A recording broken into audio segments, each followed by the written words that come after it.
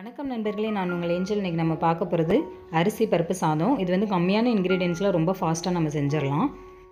இதுக்கு என்னென்ன தேவைன்னு பார்ப்போம். ஒரு பத்து சின்ன வெங்காயம் அஞ்சு பச்சை மிளகாய் இந்த மாதிரி கீரை எடுத்துக்கலாம். ரெண்டு தக்காளி கட் பண்ணி வச்சது. கருவேப்பிலை தாளிக்கிறதுக்கு பத்து பல் பூடு துவரம்பருப்பு வந்து ஒரு முக்கால் டம்ளர் துவரம்பருப்பு ரெண்டு டம்ளர் அரிசி எடுத்து நம்ம இந்த மாதிரி ஊற வச்சுக்கலாம். ஒரு பத்து நிமிஷம் ஊற வச்சுருவோம் வாஷ் பண்ணிட்டு. அது ஊறட்டும்.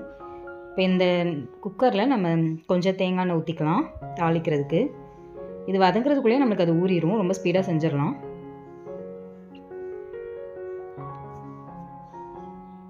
இப்போ தேங்காய் எண்ணெய் நல்லா சூடானதுக்கப்புறம் நம்ம தாளிசம் பண்ணிக்கலாம். கடுகு.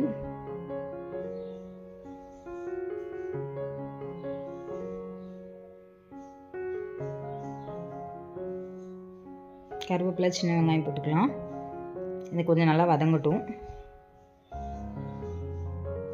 வதங்கினதுக்கப்புறம் நம்ம பச்சை மிளகாய் வெள்ளைப்பூடு தக்காளி கட் பண்ணி வச்சதெல்லாம் போட்டுக்கலாம்.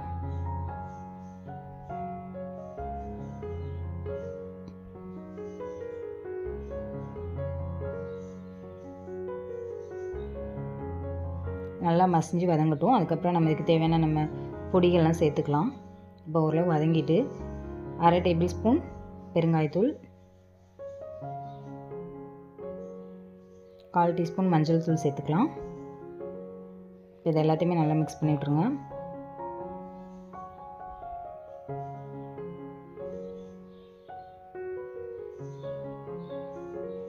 தேவையான அளவு நம்ம உப்பு போட்டுக்கலாம்.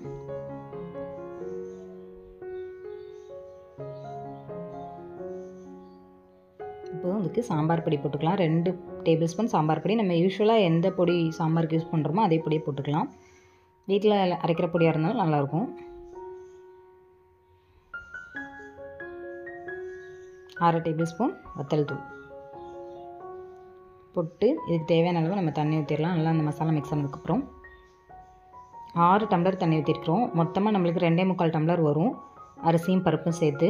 நம்ம வந்து டபுளாக ஊற்றுறனால ஆறு டம்ளர் ஊற்றிருக்கோம் ஒரு கால் டம்ளர் கொஞ்சம் எக்ஸ்ட்ரா ஊற்றிருக்கோம் அப்போ அந்த இது வந்து கொஞ்சம் குலைவாகவும் கரெக்டாகவும் வரும்.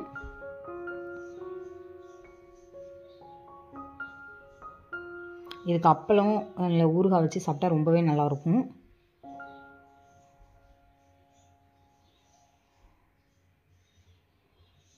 இது கொதி வந்ததுக்கப்புறம் நம்ம அரிசி போட்டுக்கலாம்.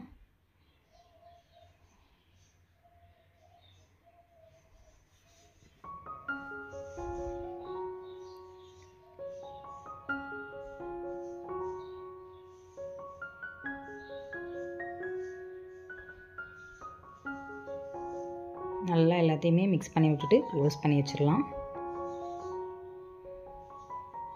இந்த டைமில் உப்பு வேணால் டெஸ்ட் பண்ணி பார்த்துக்கோங்க. பத்தலைன்னா கூட கொஞ்சம் போட்டுக்கலாம். க்ளோஸ் பண்ணி வச்சுட்டு அந்த இதில் நம்மளுக்கு ஆவி வந்ததுக்கப்புறம் நம்ம விசிறி போட்டுக்கலாம்.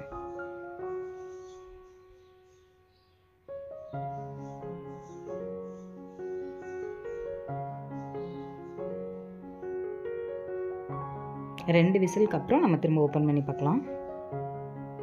பாருங்கள் எந்த அளவுக்கு நம்மளுக்கு நல்லா வந்திருக்குன்னு.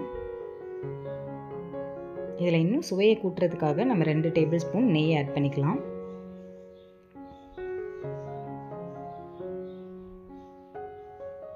நெய் ஆட் பண்ணிட்டு நல்லா மிக்ஸ் பண்ணி விட்டுடலாம் லைட்டாக கரெக்டாக அந்த ஹீட்டில் அது நல்லா மெல்ட் ஆயிரும். இப்போ இதோட சுவை வந்து இன்னும் நல்லா கொஞ்சம் அதிகமாக நல்லாயிருக்கும்